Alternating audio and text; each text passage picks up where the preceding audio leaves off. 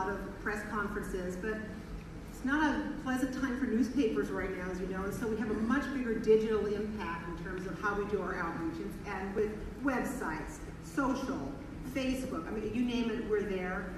Um, but outreach, person to person, is something I think is still something that we love doing. And with that, I'm going to turn this over to Carolina, Mars Public Engagement. It's on Facebook, Instagram, Twitter, uh, and we even had people come up to us at the festival who were there for day one but weren't able to buy, uh, buy a ticket for day two, and they were able to participate online for that second day and see our speaker program and what we had going on.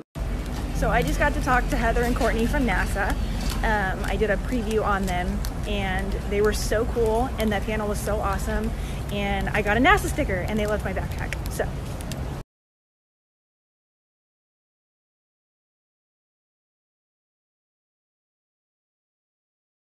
nine years. You guys can do the math. I've covered a shit ton of baseball. Um, so a lot of it is keeping myself entertained and knowing that our fans will like it as well. And luckily, we, we get it right more often than not. So the no personality game, you know, there's some experiences about social media and sports with two incredible professionals, Shabazz Khan and Samantha Wood from, from the Eagles and Timberwolves and Lynx. Um, so